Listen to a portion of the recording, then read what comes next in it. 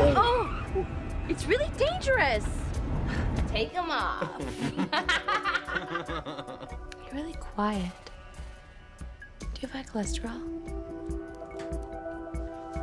I did not jerk off in the motel last night. You were making funny noises. I was not.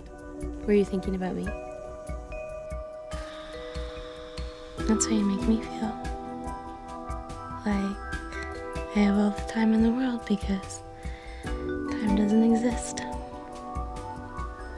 It's nice.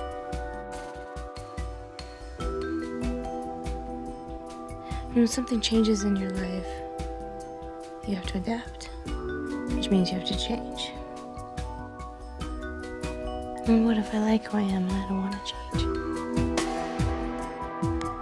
Depends on how you see your future, I guess. What do you mean?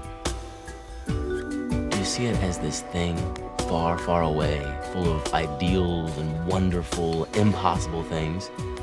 Or do you see it as the next hour?